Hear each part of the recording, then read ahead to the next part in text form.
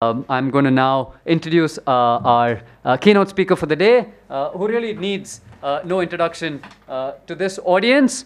Um, but uh, for the sake of just, just, just a few words, Justice Chandrachud was appointed as a judge of the Supreme Court in 2016. Before that, he served as the Chief Judge of the Allahabad High Court. He was uh, called to the bench uh, of the Bombay High Court in 2000. Uh, and before that, held a number of positions. He was Additional Solicitor General of India uh, and designated uh, uh, in 1998 uh, as a senior advocate. He also has a very strong foot in the academic world, and you can see why his opinions are so rich and such a delight for us academics. In fact, when I first made contact with him, I said, you know, I'm so glad that that now uh, we, we have judgments that uh, we are very excited to teach in class because as academics we always look for uh, extremely uh, thought-provoking judgments that have serious intellectual depth and I think, uh, uh, given that he keeps one foot uh, in, uh, in legal academia and engages with the universities uh, and others and, and, thinking, we can see the richness in his opinions. He's, he's been a visiting professor of comparative constitutional law at the University of Mumbai. Uh, he's a visiting professor at Oklahoma University of Law uh, and has delivered lectures uh, at Harvard, Yale, uh, uh, University of Witwatersrand in South Africa, uh, been a speaker at uh, several of these forums, uh, and uh, of course in India. Uh, he is now one of our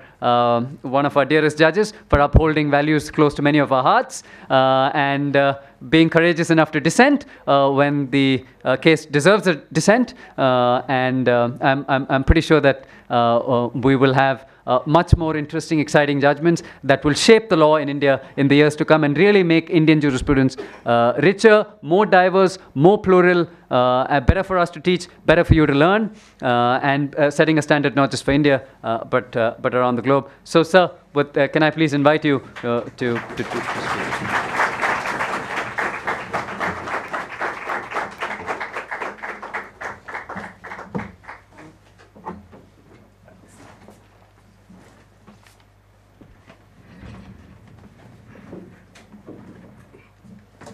Thank you so much. Thanks ever so much, uh, Professor Shamnad Basheer. It's really a, it's a great pleasure and uh, joy to be here. Um, many years ago, I was um, on an interview panel for the Rhodes Scholarships, and um, the chair of the panel was uh, Mr. Narayan Murthy. And I would sit back and uh, listen to his very wide experience of life, not just of law, but of life in general. And we had this young student who came and said, "I want to, I want to pursue uh, my research, postgraduate research, a law student, in technology and the law."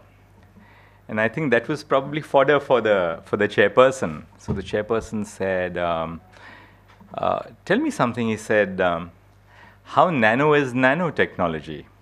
So here was a student, then the student, of course, was trying to uh, hazard an answer. And in the midst of that discussion, uh, Pat came the uh, point why don't you think like a lawyer? and why don't you answer like a lawyer?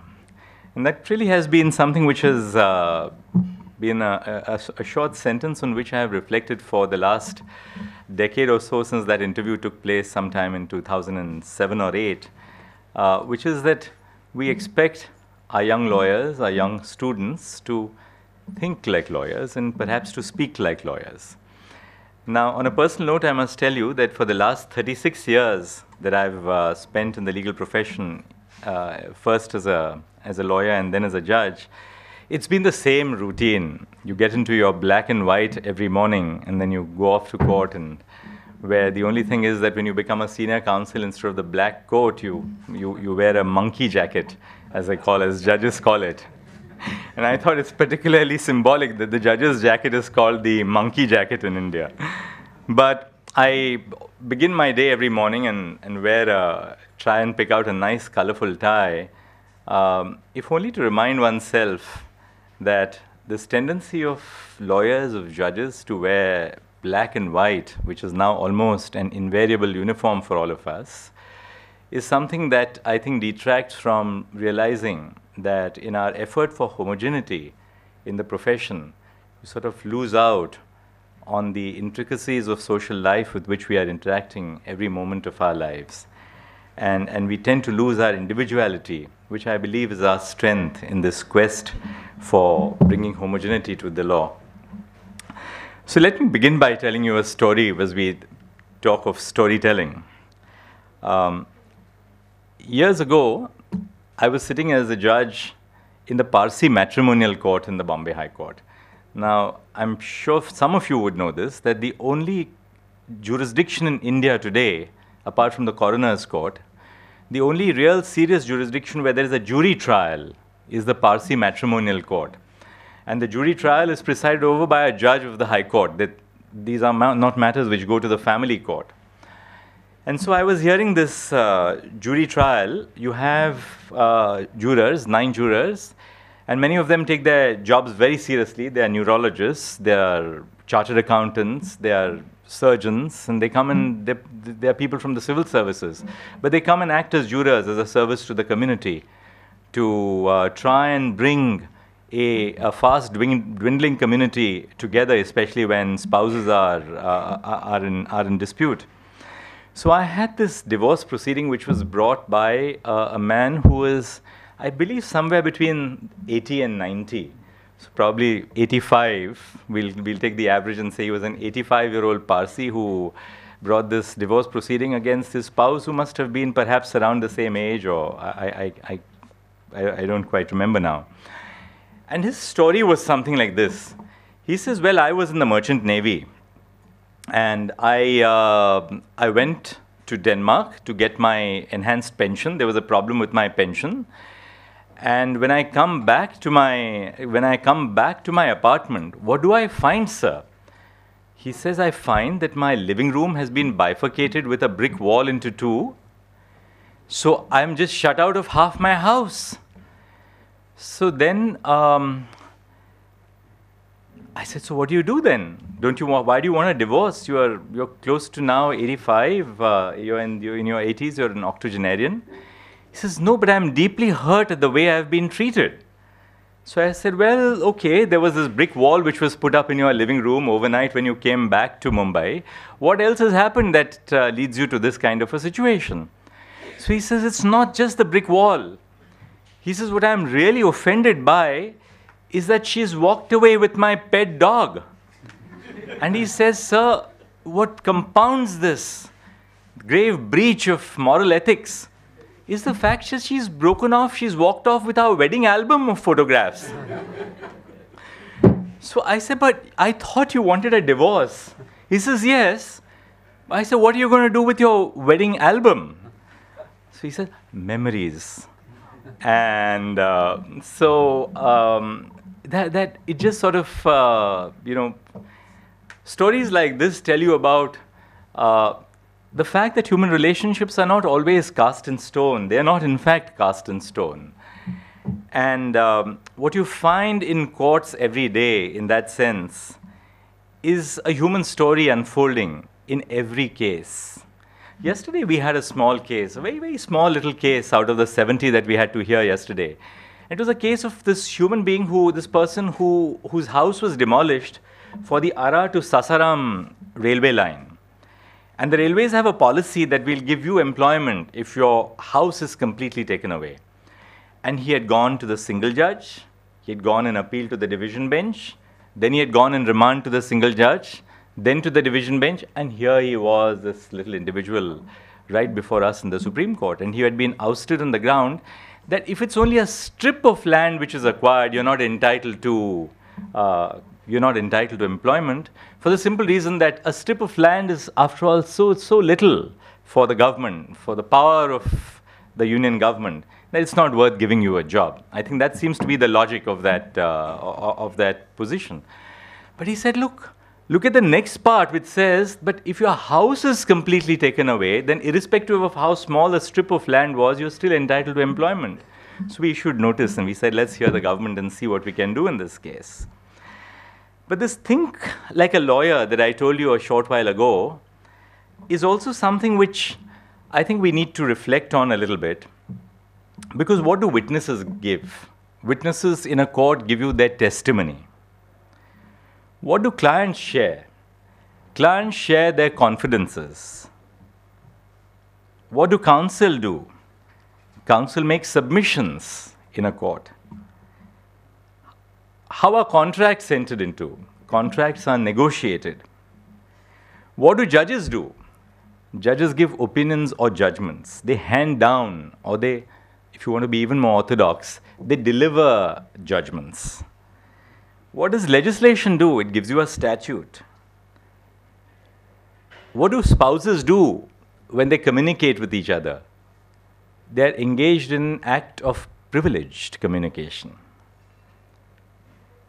So, what we try and do, I think, in the forms of our law is essentially to reduce the human element in the law, in the human element of what we do, in terms of these constructs, which basically mask the essential nature of human relationships, which is something not really so much which is as impersonal as a law would make it out to be, but which reflects deep issues of prejudice, deep issues of wrongdoing, deep issues of injustice, as you see almost every day of your life. Let me begin by telling you about a story on the next part of this presentation this morning, a story which Professor Moolchand Sharma uh, so brilliantly explained to us in, in his class between 1979 and 1980, and which is the tale of the Speluncean explorers, which was written off by Lon Fuller. I wrote about Fuller recently in my one of my judgments. I I'm not sure how relevant it was, but I had to get it in into that judgment by referring to the polycentric web. so this, the, the Speluncean explorers is a fictional creation of the American legal scholar, as I told you. The central characters were five individuals who were caught in a very cruel situation while on an expedition, it, it, reminds you of this little story we've been reading out in the newspapers about the Thai kids who were, who were caught in that cave. So, while on an expedition, they found themselves trapped in the interior of the cave due to a landslide. Without food, which was necessary for their survival, the explorers did the unimaginable on the 23rd day of their entrapment, which is they consumed the flesh of one of their companions to avoid death by starvation. Huge efforts were made to rescue these explorers, and 10 people lost their lives in the process. The explorers only managed their escape on the 32nd day of their confinement. Upon their rescue, the four explorers were tried and convicted for the offense of murder by the trial court. And the statute said what any statute on murder would probably say whoever shall wilfully take the life of another shall be punishable with death or shall be punished with death. We would strike it down as a mandatory death penalty here, but that's uh, besides the point. According to the defendant's testimony, it was the deceased explorer, the person whose flesh was consumed, who had suggested the arrangement, which involved selection by a roll of dice. And he got cold feet at the last minute. He said, Well, I don't want to participate. But when the dice was rolled, it was his turn to die and to be eaten up. So, as luck would have it, he was a chosen person for the sacrifice, for the human sacrifice under the agreement. Their appeal went before a bench of five judges of the fictional Supreme Court of Newgarth. Hello, please come. Lovely to have you here. So, through there were five brilliantly crafted judgments, all divergent opinions. Fuller brought into focus the choices that the judges faced when they were confronted with describing them as permanent problems of the human race. So each of these judges, each of these judges spoke about the human side of his story. This was a story of five people in a cave, uh, each of whom uh, was lost in that cave for very long. Um, they were to be uh, rescued. They didn't know how soon the rescue would come. So they decided to kill one of them. So they killed one of them, they ate the flesh up, and then when they came out and they were rescued, they were tried. So five judges decided their fate. Each judge acted on his moral impulse or her moral impulse and relied on a philosophy they believed to be applicable to the circumstances, ascribing different identities to the explorers. Some called them pragna- pragmatic survivors, others cold blooded murderers or sinners. The moral story.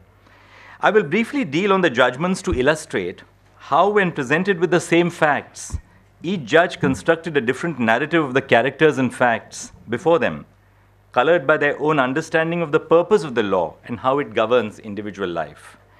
The first judge lamented that the explorers found themselves to be in a tragic situation, as he called it, and acknowledged the unfortunate circumstances which entitled them to clemency.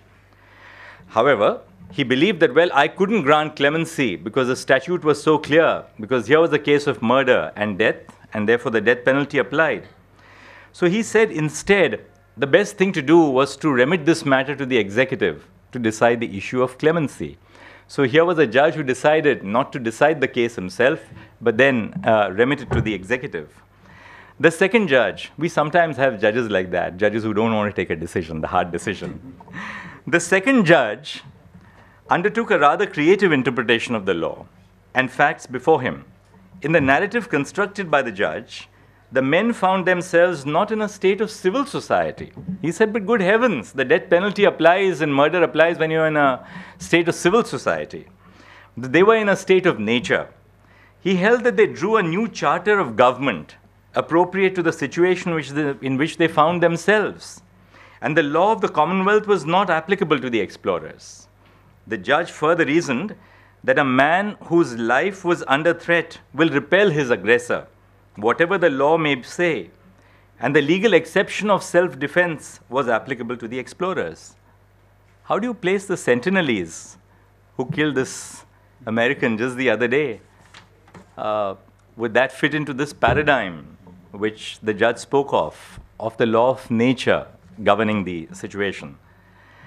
The third judge stated that the conviction for their actions would have been an absurdity because 10 heroic lives have been lost in saving these individuals. And are you going to now kill them for having committed murder? He vacillated between being sympathetic towards the explorers and, find, and finding disgust at the monstrous nature of their crime. But he was unable to ignore these contrary emotions which came into his heart, and ultimately he did something again which a few judges do sometimes, which is that he recused himself from hearing the case any further.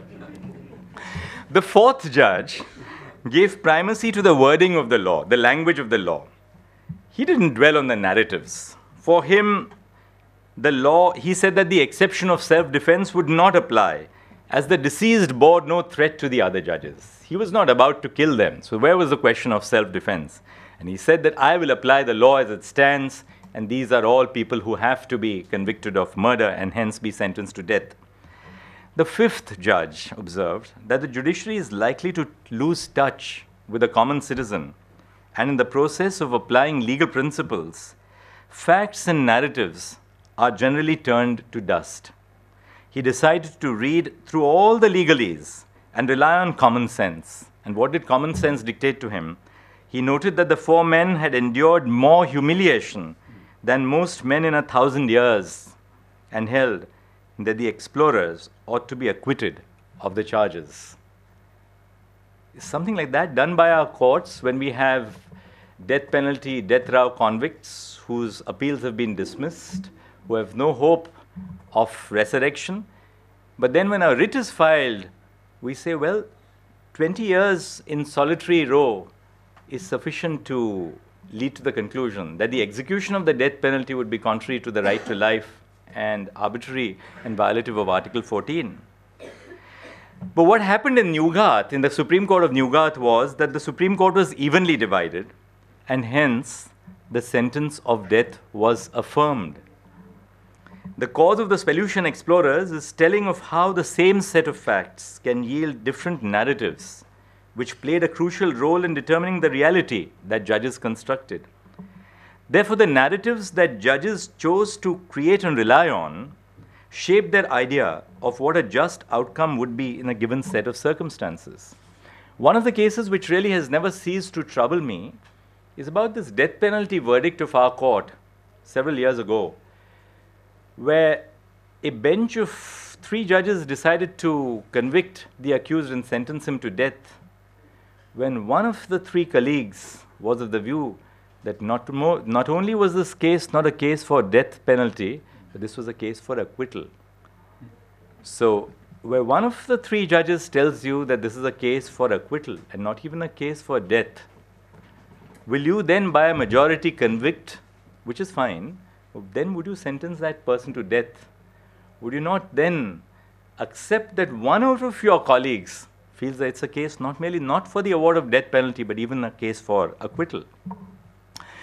As novelists shape the narratives of the characters in their stories, judges rely on the facts before them to craft a narrative they believe to be most probable in the circumstances of each case.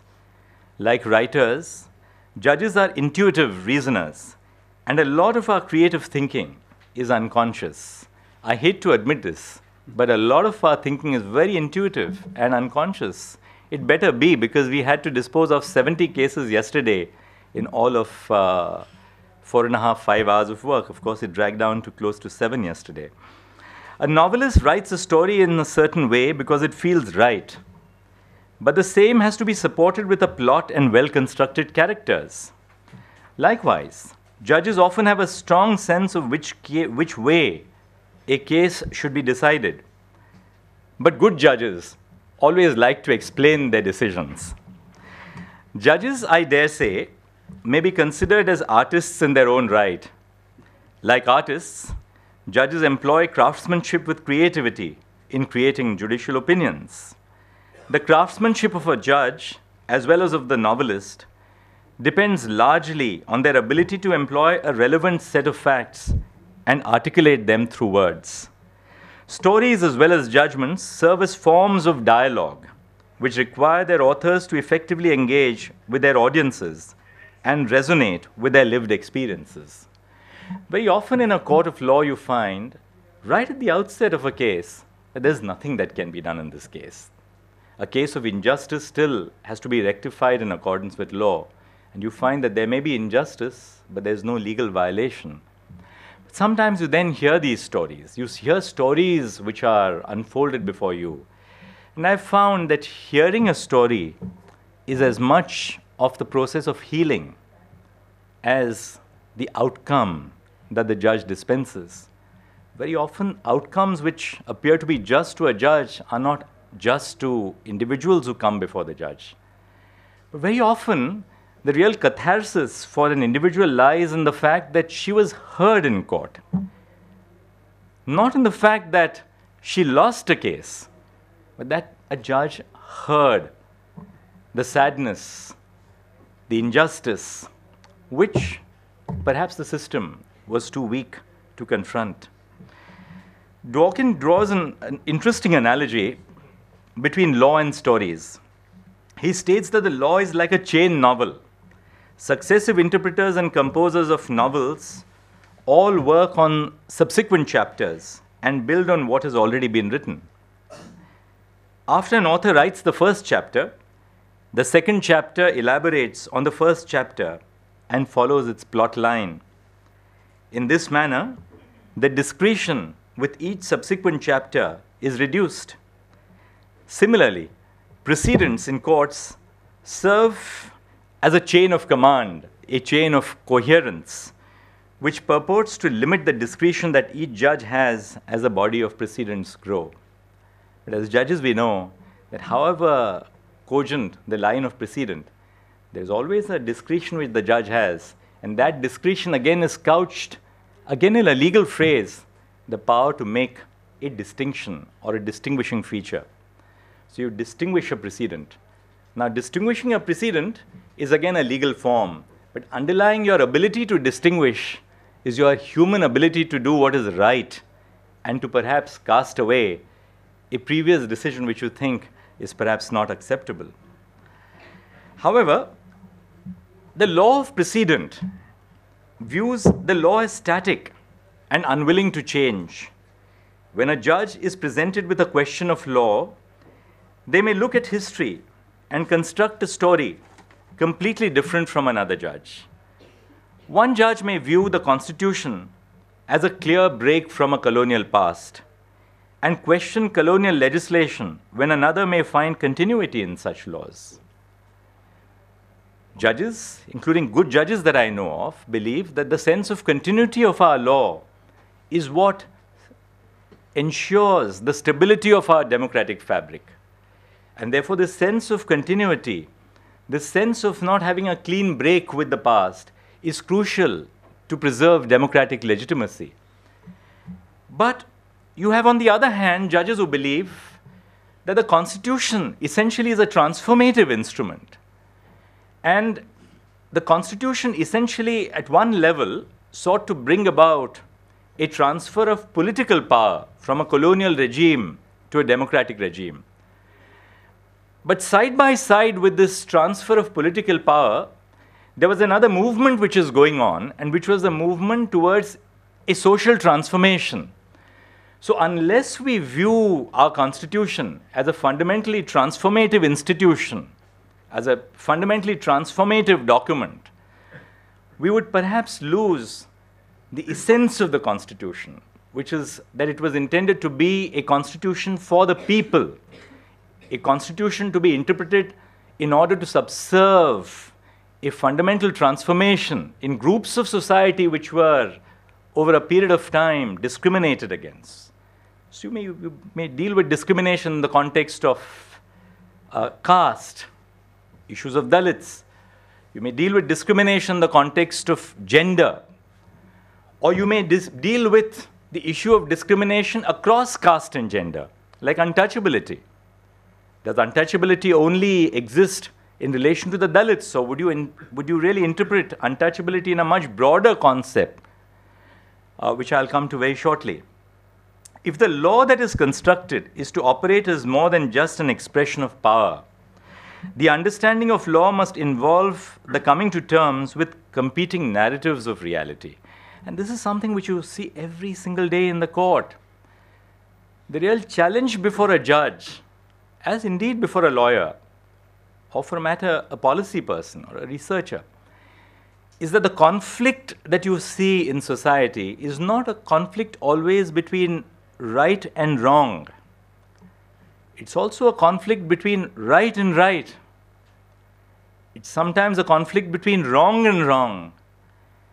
It's a conflict between right and power. And power, to the extent that it has its own legitimacy, also defines itself in terms of being right because it is in accordance with law. So, conflicts, I think the, the gravest conflicts that we confront as judges are conflicts between right and right. And how do you define, how do you decide a conflict between, between rights, between two sets of rights?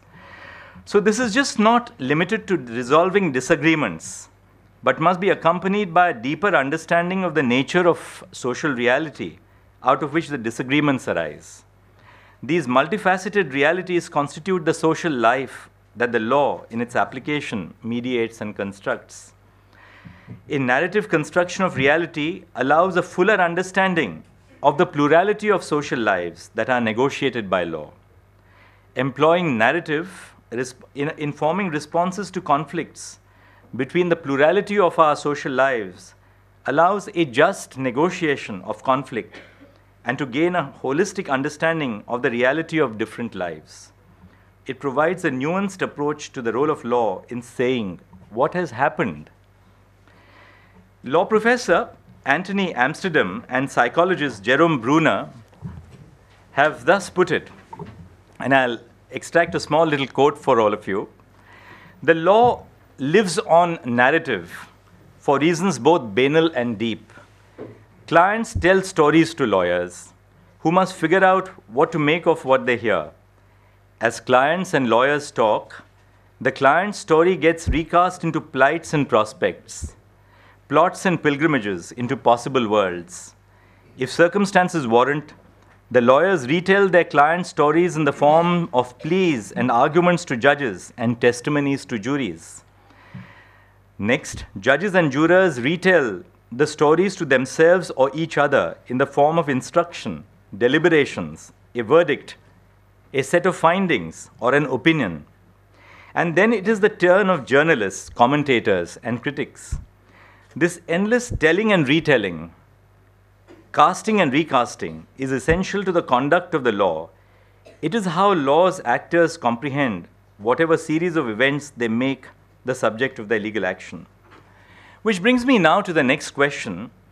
Given the role of the narrative in shaping the character of justice, how must a judge construe varying narratives of identity, experience, and circumstance to further the cause of justice? As we have illustrated in the case of the Speluncean explorers, the, the hypothetical situation, any factual scenario throws up a multiplicity of narratives. However, engagement with each narrative does not in any way take away from the objectivity and determinacy of the law.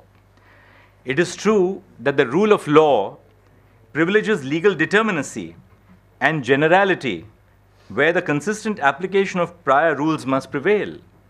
So, in our quest for unraveling human stories, we're equally conversant and cognizant of the need to preserve the rule of law. And the hallmark of the rule of law is the determinacy of the law, that there should be certain outcomes. There should be outcomes which are not aberrations. But the rule of law is not and must not be construed as divorced from individuals and their experiences. Legal determinacy must not be accorded a weight that leads to discounting completely the lived experiences of those it seeks to govern. Therefore, substantive justice is necessarily contextual. I think the great challenge for the modern judge, particularly in our country, is the fact that in your effort to deal with the mass of litigation which comes before you and to ensure that you promote a high degree of consistency, of certainty in the law, there's a grave danger that you lose individual narratives of individual injustices, which really then cast a doubt on the very legitimacy of the work which you may do. James Boyd White, uh, the pioneer of law and literature, Professor Basheer referred to the law and literature movement, he has said, Law is not at heart an abstract system or scheme of rules, as we often think nor is it a set of institutional arrangements that can be adequately described in a language of social science. Rather, it is an inherently unstable structure of thought and expression, built upon a distinct set of dynamic and dialogic tensions. It is not a set of rules at all, but a form of life. It is a process by which the old is made new over and over again if one is to talk about justice and the law, it must be in the light of this reality. So, the dialogical role of the law is crucial to preserve the legitimacy of the law. If you forsake the dialogical role of the law, I dare say the law then becomes a diabolical, a diabolical instrument. And that's the grave danger which we must then confront. To view law in this holistic sense is to acknowledge the contribution of human elements of thought and expression in the development of legal structures. The legitimacy of the rule of law will also depend largely on whether the law in its application does not obscure the experiences of those it seeks to govern, and particularly less privileged communities. In that sense, the judge must be circumspect to ensure that less dominant narratives, and I call it less dominant narratives, it's in a cultural context, that the less dominant narratives, which are not as vociferously presented, do not get lost. In a seminal paper, which is titled Poets as Judges, Martha Nussbaum underscores the relevance of literary imagination in judging, which allows engagement with narratives of individuals with empathy. The book which I am currently reading is by Martha Nussbaum, Nussbaum called The Monarchy of Fear. She cites the examples of the example of Bowers versus Hardwick, which we dealt with in the 377 case on, on, on gay rights, a case in which the American Supreme Court upheld a Georgian state law criminalizing all forms of sodomy to illustrate how adjudication bereft of narrative is problematic. If you read Bowers versus Hardwick, it's a perfectly reasoned judgment, but which leaves uh, you completely perplexed because it doesn't deal with the human elements in, in, in, in that offense that was under consideration. Nussbaum noted that the majority opinion maintained a distance from the facts of Hardwick's case. Hardwick was being prosecuted under the anti sodomy law. The distancing language expresses a refusal to think about how Hardwick's personhood is affected.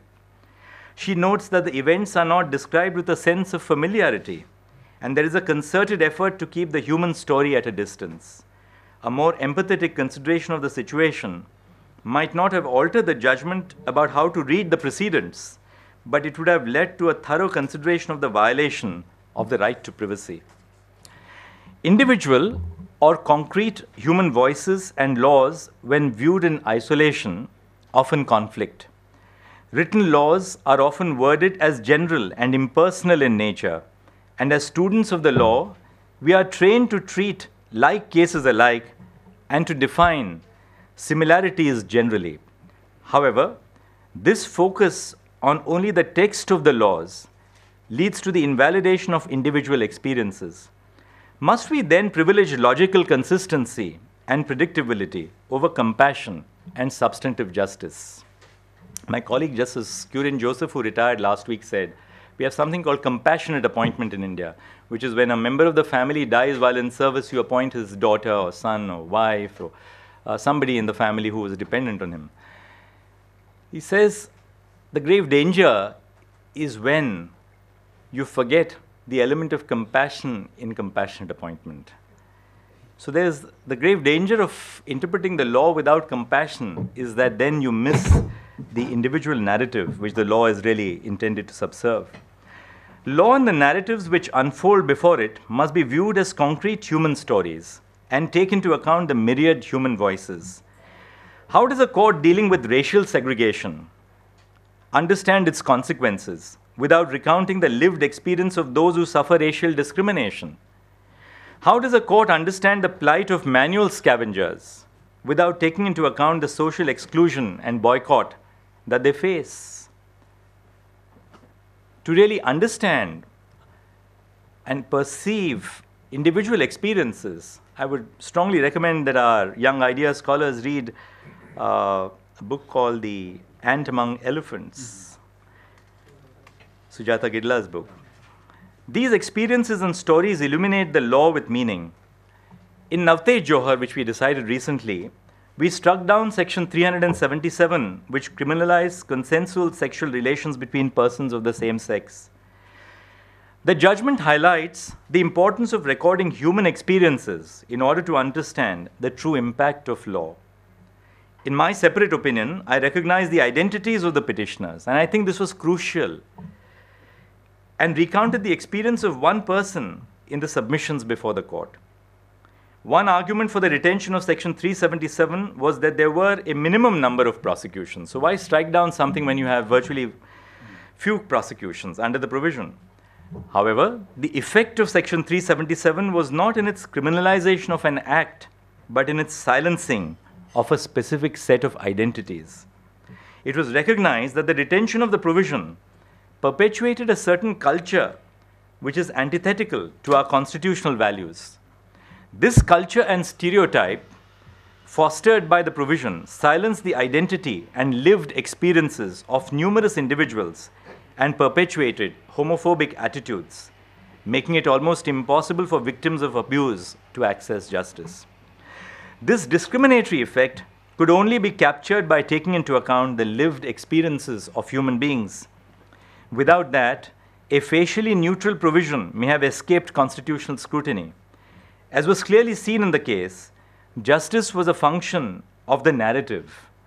It tells us that within the tapestry of legal scholarship and advocacy, empathy, storytelling, and different voices must be woven in. If one closely looks enough, the text of our laws have their own stories. For example, the constitutional moment is portrayed as representing triumph and victory of the decades long struggle towards freedom it consists of stories of struggle and a nationalist fervor to give India her independence.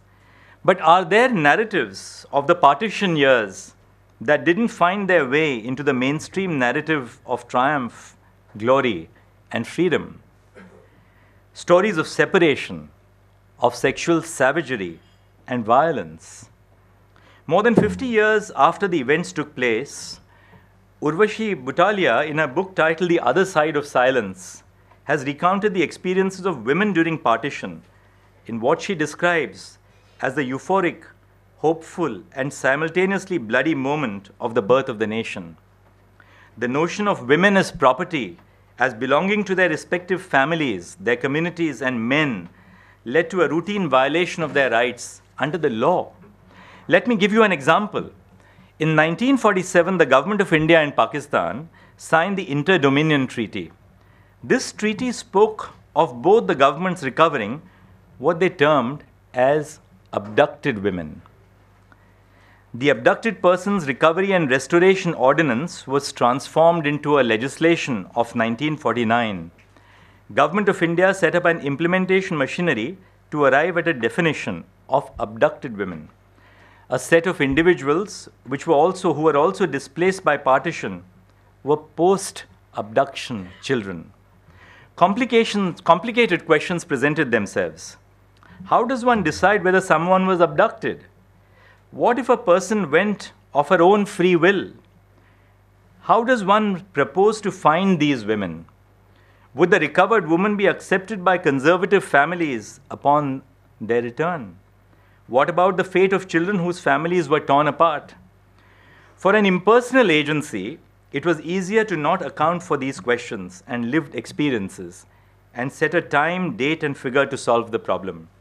As the violence in Punjab had, by some accounts, started in 1947, any woman living with, in the company of, or in a relationship with a man of the other religion after 1 March 1947 would be presumed to have been abducted all marriages and conversions after this date would not be recognized by the two governments. When the law assumed force, the narratives of women and children, no matter what they said, no matter how much they protested, or no matter how real the relationship was, was completely destroyed. The act was silent about couples that had conceived. There were two kinds of post abduction children those born to abducted Muslim women in India and subsequently recovered, and children born to abducted Hindu women and then recovered. In most cases, the children stayed on with their fathers, the abductors. The stories of these separated families is gut wrenching. There are numerous stories of women who protested.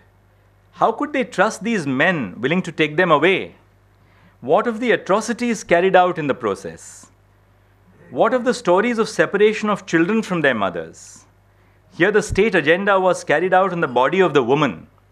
Recovered women were not seen as free adults who could exercise their own agency, but as missing members of a community. So, a woman was pictured not as an individual of, with her own agency, but as a member of a community. They were viewed as repositories of family, community, and national honor. The law here was built on its violence to the narrative of women and children by silencing their story of forced separation. Therefore, to deny narrative is to deny identity.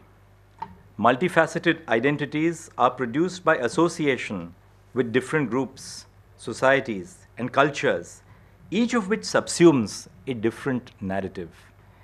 And let's not forget that India's narrative is this narrative of plurality, of diversity, which is the essence of the freedom which at least we visualize for, for the future. So, to deny narrative is to deny identity. Multifaceted identities are produced by association with different groups, societies, and cultures each of which subsumes a distinct narrative. Justice as a narrative compels us to give recognition to voices and experiences that are lost in the process. We must remember that to ignore the narrative on which the law is built is to further the violence that is meted out in its inception. Our Constitution itself is built on various narratives. It carries the hue of the hopes and aspirations of a populace that has known oppression and is hopeful of a new freedom. This is reflected in the broad contours of the rights enunciated in the Constitution. The narrative of our Constitution is a vision of transformation, to obliterate practices and values which are antithetical to the values of liberty and dignity, which is to galvanize social reform. Justice Vivian Bose in 1955 in Virendra Singh said, The Constitution blotted out in one magnificent sweep all vestiges of arbitrary and despotic power in the territories of India and over its citizens and lands. The past was obliterated except where expressly preserved. At one moment of time, the new order was born with its new allegiance, springing from the same source for all. Grounded on the same basis, the sovereign will of the peoples of India, with no class, no caste, no race, no creed, no distinction, no reservation. The text and silences of our Constitution reflect this and must be borne in mind in reading and interpreting the Constitution. The oppression faced by citizens of our nation in the colonial era led the makers of independent India to strive for an egalitarian society for our future citizens, devoid of all forms of oppressive discrimination. It was in furtherance of this that the drafters of the Constitution included a provision to counteract the social malaise of untouchability which plagued Indian society.